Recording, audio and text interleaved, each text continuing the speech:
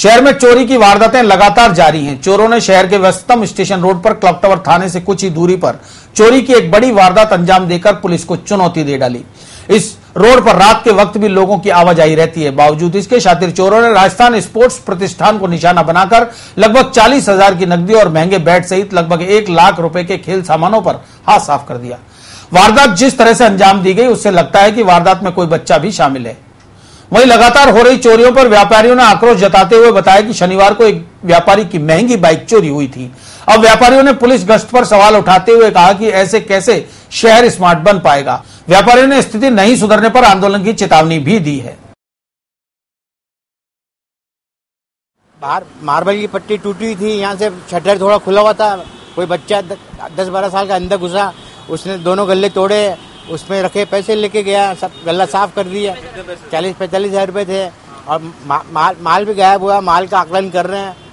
माल भी करीब कंपनी का ब्रांडेड माल चोरी हुआ है अस्सी नब्बे हज़ार रुपये का। वो भी गया क्रिकेट बैट हुए और दूसरे स्पोर्ट्स का आइटम महँगे आइटम वो गायब भाई इस रोड को बहुत बड़ा टारगेट कर रखा है। या तो कोई बहुत बड़ा गिरोह अजमेर में सक्रिय है पिछले दो साल में इस रोड पे ये आठवीं वारदात है। पहले बड़े बड़े घड़ियों के शोरूम मोबाइल वालों के यहाँ चोरियाँ हुई हैं और उसके बाद ये स्पोर्ट्स की इतनी बड़ी दुकान में आज चोरी हुई है वारदात। पुलिस डिपार्टमेंट कहता है कि हमारी गश्ती रहती है। हम रात को भी घूमते हैं, जबकि हमारे एसोसिएशन की तरफ़ से सिक्योरिटी गार्ड है। उस तक को पता नहीं लगा और ये वारदात हो गई।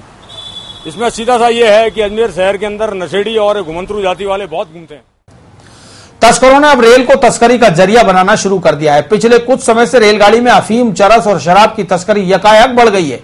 वहीं जीआरपी ने भी रेलों में हो रही तस्करी पर लगाम लगाने के लिए अभियान चला रखा है, जिसके चलते रोज़ाना किसी न किसी गाड़ी में तस्करी कर लाई गई नशे की खेप बरामद हो रही है।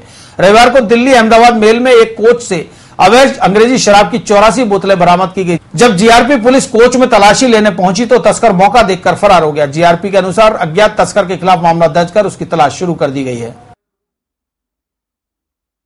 जो हरिद्वार अहमदाबाद ट्रेन जारी है, इसके बी टू कोच में एक आदमी चार पाँच बैग अवैध शराब लेके जा रहा है इस पर हमारी टीम ने जाके छाप मारा तो आदमी शायद बावर्दी पुलिस को देख के पहले ही खिसक गया।